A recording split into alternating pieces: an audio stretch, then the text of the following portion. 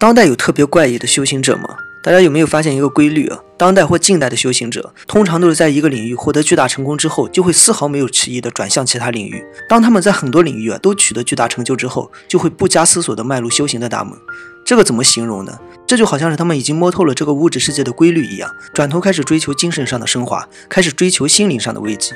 听起来是不是特别像李叔同的三层楼境界？我们今天要说的这个人，也一样。不同的是，他就是当代人，他被人称为是数学天才，先是获得了国际数学奥赛金牌，而后又被保送北大。就在申请并获得麻省理工学院全额奖学金的同时，他毅然决然地踏入了修行世界的大门。他为什么做此选择呢？在他身上究竟发生了什么变故呢？今天我们就一起来看一下柳智宇的故事。我在查询关于柳智宇的资料时，发现了这么一句评论：有人说中国不缺修为高的隐士，缺的是像亚里士多德、牛顿这样在哲学与科学领域都很有影响力的人。像柳智宇这样有天分的人，就应该承担起这样的责任。如果大家看完柳智宇这个人的事迹之后啊，就会知道这番话形容的到底有多准确。柳智宇出生于湖北省武汉市，他的父亲啊是华师大附中的一位物理老师，母亲呢是一位工程师。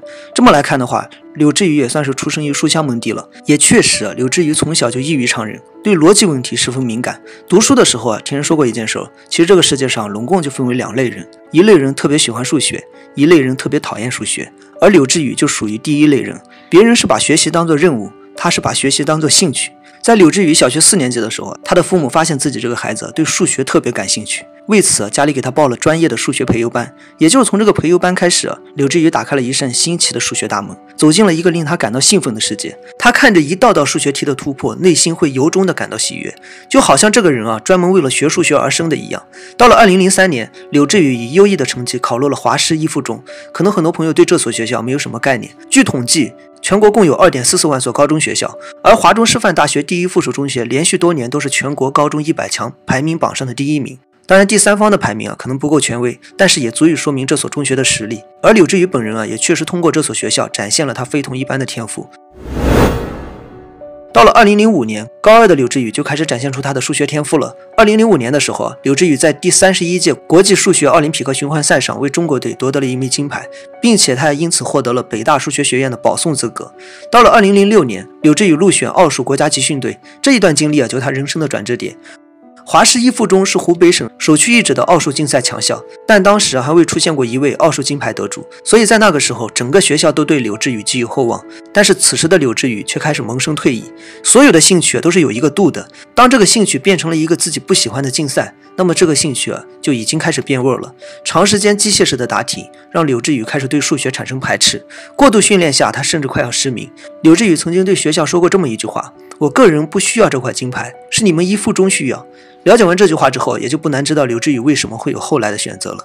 说是这么说，但柳智宇依然参加了国际奥林匹克数学竞赛。在那年的竞赛上，全世界共有三个满分，柳智宇本人就其中一个。但是他却并没有像身边人一样欣喜若狂，甚至他比身边人更要郁闷。像他这样的天赋者，心智是要远远高于同龄人的。他时常回顾自己这一路，他发现自己失去太多了。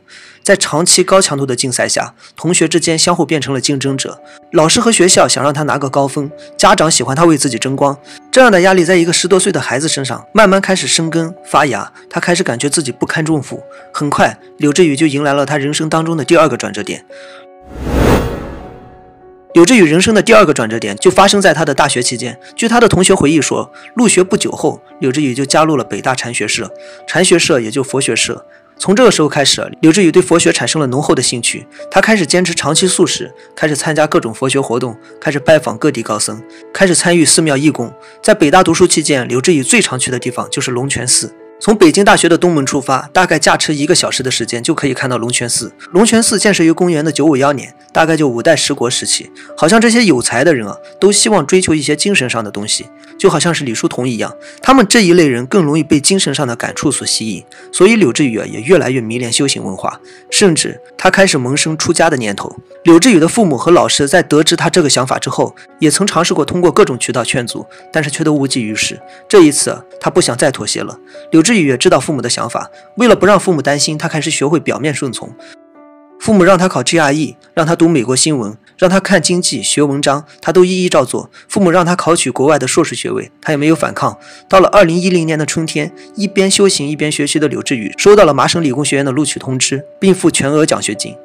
麻省理工学院算得上是世界一流大学，在科学技术方面排名世界第一。在这所大学内，产生了九十七位诺贝尔奖获得者，八位菲尔茨奖获得者，二十六位图灵奖获得者和五位普利茨奖得主。就在柳智宇准备踏上学业巅峰的时候，他做出了一个让人惊掉下巴的决定。参加完北大毕业典礼的后一天。柳智宇给麻省理工学院的教授发送了一封邮件，内容为：很抱歉地通知您，我不会成为 MIT 的学生了。您可能会很惊讶，我决定把自己的一生都奉献给佛教，并成为北京龙泉寺的一名僧侣。在当时的媒体啊，虽然没有现在发达，但是北大数学天才遁入空门的新闻也一下火遍了全国。柳智宇的父母在得到消息之后啊，直接把他强行带回了家，之后为他准备了两个去美国的行李箱，并且安排好了到波士顿接机的向导。一切准备妥当之后，柳智宇告诉父母，他想去北京和同学们道别。这一去之后，柳智宇的电话就关机了。在北大莫名站的讨论区里，有一个帖子写道：“世间少了一个柳智宇学长，多了一个咸鱼大师。”是的，柳智宇给自己取的法名叫做咸鱼，他正式出家了。至于柳智宇为什么出家，没有人知道。他虽然没有提起过，但是外界却有许多猜测。有人觉得柳智宇啊就是众多学子的缩影，最终被来自四面八方的压力推倒了。有人觉得天才在左，疯子在右，他这是学数学学傻了。归根结底，在常人眼里的正确的活法应该是读名校，去民企。在利益至上的社会中啊，放弃争夺就好像是违背了常理一样。他们会以一种特别怪异的目光去盯着柳智宇，然后问他：“你为什么这么活？”听听这句话到底有多么可笑，就好像是动物园里的老虎看到野生老虎一样。原来我也可以这么勇猛，好像是许多人都忘了自己的初心，好像是人生啊就应该只有一种活法一样。为了调查柳智宇遁入空门的缘由，曾经有记者去过龙泉寺拜访，但是却没有见到柳智宇本人。他们碰上了一位叫做贤栋的僧人。贤栋并不知道柳智宇是北大毕业生，他是这么回答记者的：柳智宇确实在此修行，但目前还只是居士。他在这里过得很好，每天跟其他修行者一道进行各种活动。当人们向贤栋询问柳智宇出家的缘由时，贤栋单手作礼说：“一切随缘。”自此之后，每当有人拜访，都会有僧人传话说：“不便见人。”在二零一零年的时候，柳智宇曾经在博客上写下过一段话：住在寺院里，每日上殿读书劳动，慢慢的对性别的关注会少一些。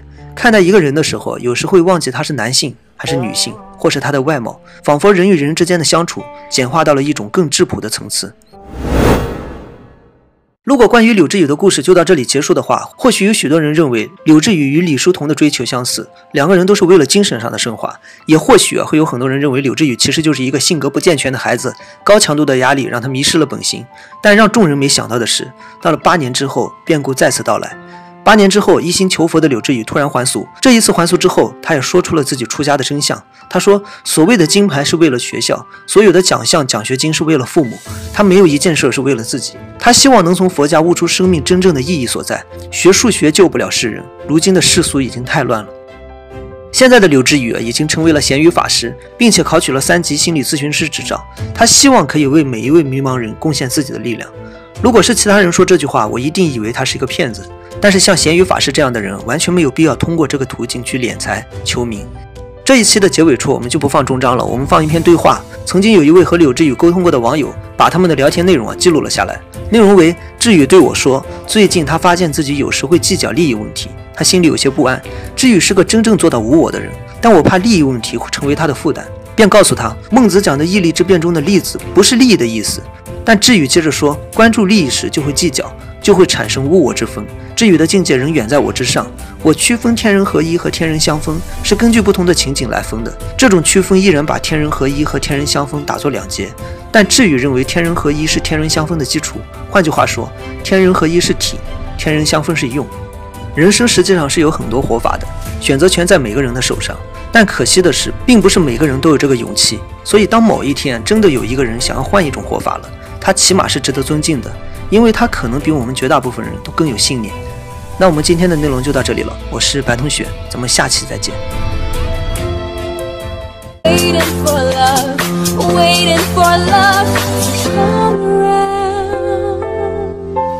There's a